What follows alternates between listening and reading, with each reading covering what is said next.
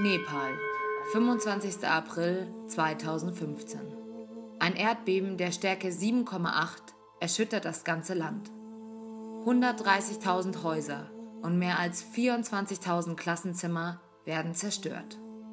Mehr als eine Million Kinder können nicht mehr in die Schule.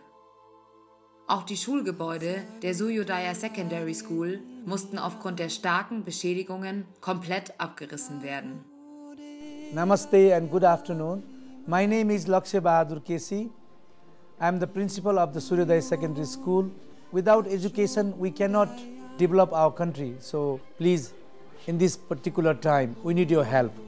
Ich kenne die Schule und insbesondere den Schulleiter seit ungefähr 15 Jahren. Wir arbeiten im Rahmen von Rotary International zusammen, insbesondere in der Thematik Familienplanung, Mutter- und Kindgesundheit und Bildung. Und wir waren im Speziellen natürlich informiert, dass das Schulgebäude nicht mehr benutzbar war. Ja, als ich zum ersten Mal runterkam, da ging es erstmal darum, eine Notschule aufzubauen. Wir haben das in Form einer Zeltstruktur sehr kurzfristig realisiert. Jetzt geht es darum, eine Schule für die nächsten Jahre wieder auf die Beine zu stellen.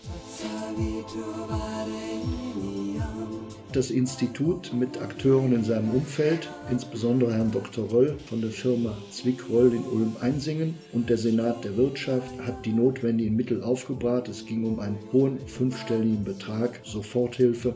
Aber die Schule braucht jetzt eine vernünftige Ausstattung und das müssen viele Schultern gemeinsam schultern. Das neue Schulgebäude ist fast fertig. Die Schule braucht ganz dringend moderne Sanitäranlagen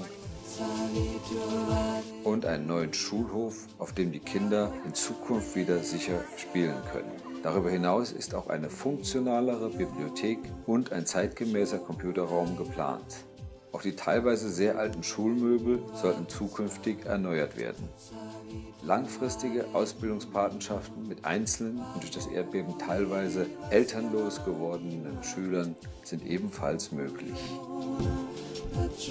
Außerdem geht es nicht nur um die Finanzierung, es geht auch um Netzwerke, um Beziehungen und beides zusammen soll jetzt das Crowdfunding-Projekt leisten. We, are, we have a great hope, great mission that we want to continue and we want to provide the quality education to the incoming generation. Namaste, my name is Avril Basnet. I read in class 5 and I want to be doctor in my future. My name is Nisha Gupta. I want to become an artist. My aim is to be a medical doctor and I want to be a prime minister in my future. At present, we are holding our classes in temporary classes made of tents, but that can't go long lasting. We need to think for a sustainable school. We have to do that with the support of others. Und ich kann Ihnen versichern, dass jeder Euro hier hilft, die Schule wieder zu dem zu machen, was es einmal war. Thank you very much. Thanks a lot.